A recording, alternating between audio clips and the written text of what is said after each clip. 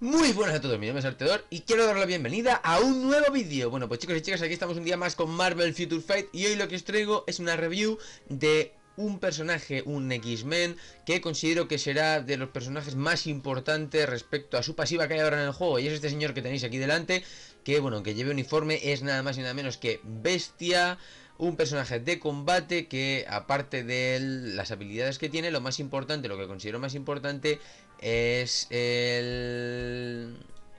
la pasiva. Aquí que se aplica a todos los aliados 50% de aumento del ataque físico. Eso quiere decir que si podemos de líder con otros personajes que tengan ataque físico, vamos a aumentarlo muchísimo.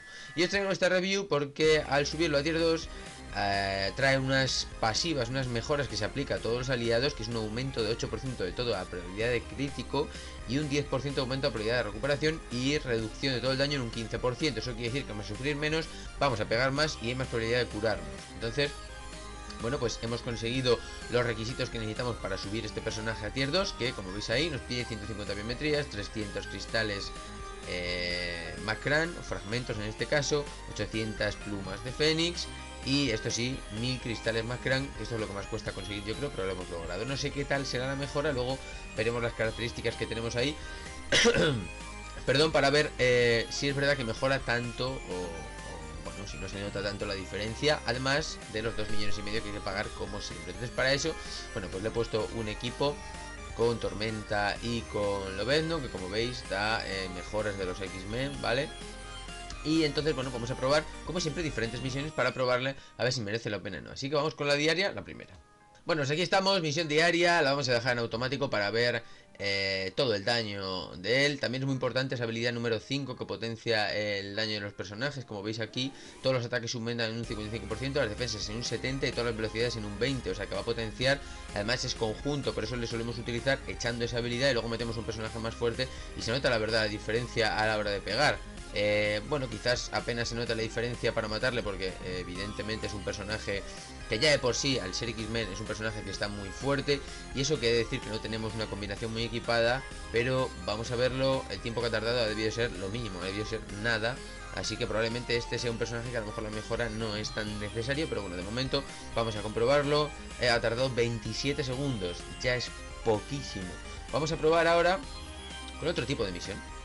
Bueno, pues aquí estamos, estamos haciendo la misión contra eh, Hellstrom, digamos que eh, para tener un poquito más de, bueno, para probar un poquito más el daño de, del personaje contra alguien que no tiene, eh, digamos, ventaja, en este caso Hellstrom no tiene ventaja contra él, entonces vamos a ver qué tal se le da contra él, aunque, bueno, de momento creo que es un personaje que realmente no merece en exceso bueno, de momento creo que así sin ser tier 2, pero bueno, también es verdad que es porque al ser un X-Men, pues evidentemente eh, el daño ya es espectacular, además la pasiva que tiene.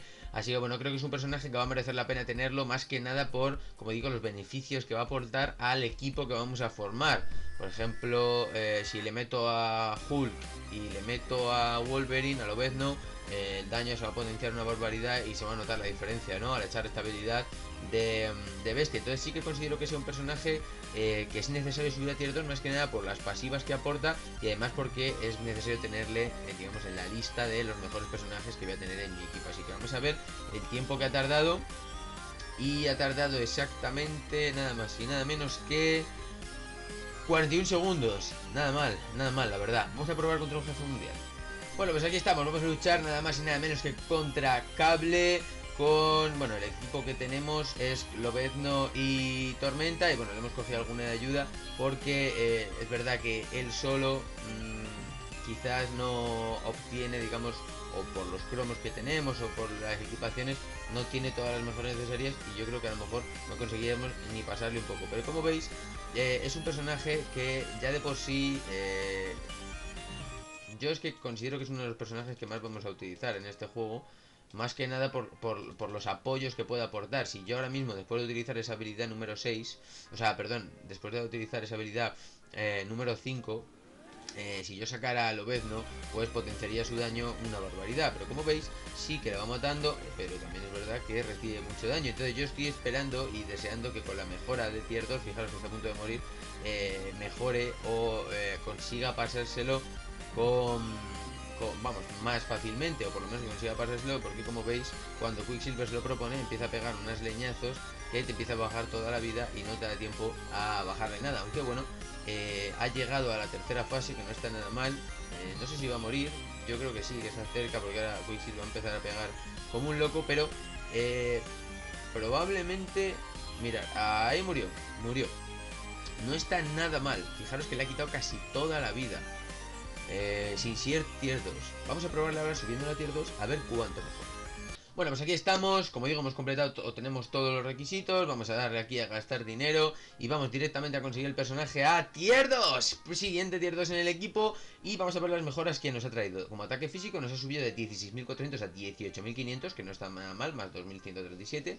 El ataque de energía, 8.100 a 8.200, más 152, evidentemente el ataque de energía sube menos. La defensa física ha subido de 7.200 a 8.700, más 1.476, que está muy bien. La defensa de energía de 6.500 a 7.400 más 847 que también está muy muy bien. Y la vida ha subido de 24.178 a 30.121 más 5.943 que también está muy muy bien. Además de añadirle la pasiva que habíamos visto antes aumenta a todos los aliados o sea priva a todos los aliados aumento del 8% de la probabilidad de crítico 10% aumento de probabilidad de recuperación y todo el daño se reduce en un 15% eh, nos van a dar un logro, evidentemente. Como equipo personalizado, le he metido un obelisco de daño crítico, 33%. Es verdad que esto no es muy beneficioso. Aumenta ataque físico en 120 el daño físico, pero lo de la onda sísmica no merece mucho la pena. Ya nos lo dijeron el otro día en un vídeo.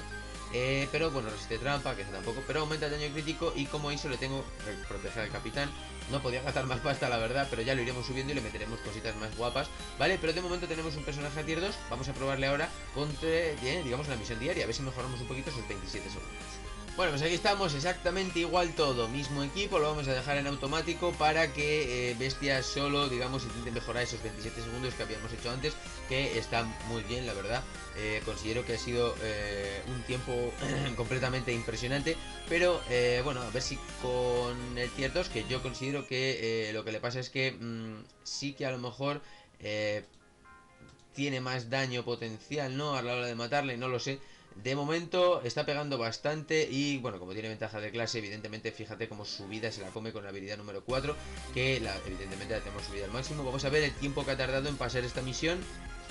Bueno, pues ha, ha tardado nada más y nada menos que, vamos a verlo, nada más y nada menos que ha tardado 27 antes y en este 28, un segundo más. Pero claro, es que mejorar 27 era muy difícil. Vamos a ver contra Hellstrom a ver el tiempo que hace. Bueno, pues aquí estamos contra Hellstrom. A ver, igual, mismo equipo, todo igual. Ha venido Clea, que nos va a venir bien para sacar sus biometrías. Y por no de decir que como conjunto que yo le pondría a este personaje para mejorarle, conjunto de ISOs me refiero, yo le metería Turbo o Fuerza de Full Cabreado para potenciar aún más su daño. ¿Vale? Porque, bueno, los cooldown tampoco están mal, están mal. Quizás la habilidad número 5 tiene más cooldown, pero evidentemente yo creo que es lógico porque dura más tiempo, ¿no? Bueno, es un bufo que le echamos, normalmente todas esas mejoras que le echamos a los personajes pues llevan eh, más tiempo de cooldown, ¿no? Entonces, bueno, pues eh, considero que está bastante bien, yo creo que la velocidad de ataque ha aumentado, eh, el daño yo creo que también ha aumentado, además fijaros todas las mejoras que van saliendo, que evidentemente también será por el traje, pero van saliendo un montón de mejoras que yo creo que sí que nos vienen bien a la hora de tener un personaje más en ciertos potenciado. Además he de decir que con el uniforme eh, con el uniforme ya no es villano, o sea, ya no es héroe, sino que es villano, así que podemos estar cambiándoles el uniforme para eh, si queremos tener un villano o si queremos tener un héroe según necesitemos, por ejemplo, en Tierra de Sombras, que eso sí que es verdad que nos va a servir eh, muchísimo. Vamos a ver el tiempo que ha hecho ahora matando a Hellstrom, pero yo creo que lo habrá reducido, o por lo menos ha hecho el mismo, pero yo creo que lo ha reducido un poco. Ha tardado 41 segundos, sí que lo ha mejorado, eh, pero bueno, a mí me interesa probar contra el jefe mundial. Vamos a ver qué tal contra Quicksilver ahora.